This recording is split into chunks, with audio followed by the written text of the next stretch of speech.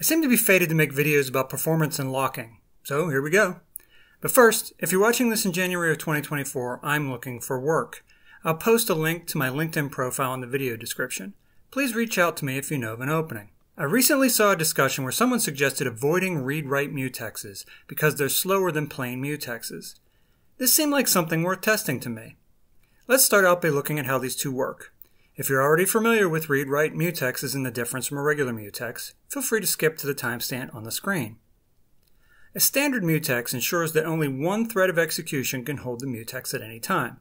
If two threads want access simultaneously, the mutex will grant access to one and block the other from proceeding until the first process releases the mutex. This is commonly used to ensure that two threads don't corrupt memory by trying to modify data simultaneously. A read-write mutex has two locking modes. Any number of execution threads can hold a read lock on the mutex simultaneously. However, if any thread holds the write lock, then it is held exclusively, and no other threads can acquire any type of lock, read or write, on the mutex until the write lock is released.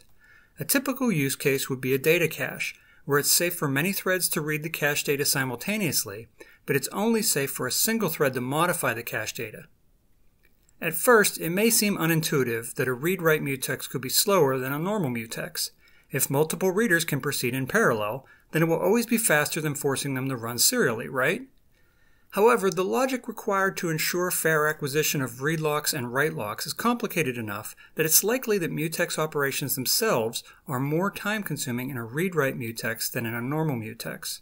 If you've managed to keep up with all that, then you're probably thinking, there's probably a magic ratio of readers to writers that dictates which of these is the fastest. Okay, let's find that ratio. The test program I wrote defines a locker interface that has lock and unlock methods as well as methods to read lock and read unlock, or unread lock. Anyway, I then implemented a version using a standard mutex where the read locking also blocks and using a read-write mutex that allows the read locks to run in parallel. The test accepts a parameter telling it how many readers and writers to start and how many iterations to run, then times how long it takes to complete. I then run the test with different ratios of readers to writers for 5,000 iterations each. I use 8 total processes since that's the number of CPUs on my test machine. Looking at the results, all of the tests ran in the same amount of time for the standard mutex, that's because reading and writing are handled in the same way. With the read-write mutex, we can see that throughput is significantly higher when there are a lot of read threads. No surprises here. This is the use case that read-write mutexes are designed for. At first, it may be unintuitive that seven write operations and one read operation run at the same speed as eight write operations.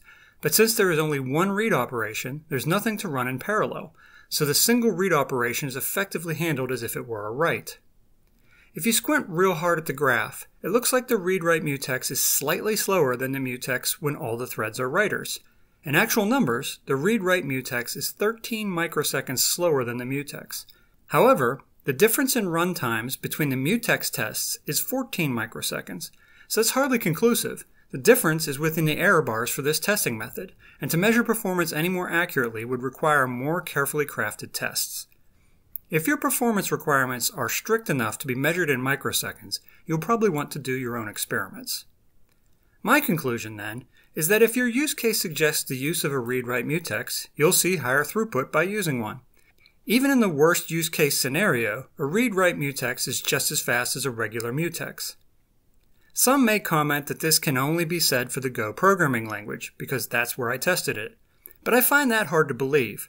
Read-write mutexes have existed in programming languages for decades. There's been plenty of time to optimize their algorithms, and I'd be shocked if anyone could find an implementation that produced different results.